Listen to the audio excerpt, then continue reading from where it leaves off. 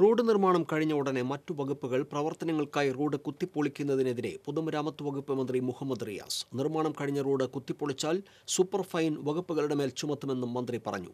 Vazhakkode Plazhi road ഉപരിതല നവീകരണ പ്രവർത്തനങ്ങൾ ഉദ്ഘാടനം ചെയ്ത് സംസാരിക്കുകയായിരുന്നു മന്ത്രി. മന്ത്രി കെ രാധാകൃഷ്ണൻ അധ്യക്ഷനായിരുന്നു. മുൻ M L A U R Pradeep മുഖ്യപ്രഭാഷണം നടത്തി. Assistant executive engineer P P Sindo ജില്ലാ പഞ്ചായത്ത് അംഗങ്ങളായ P Sabira Maya Deepa S Nair block panchayat പ്രസിഡന്റുമാരായ K V Nafeesa K M Ashraf എന്നിവർ സംസാരിച്ചു.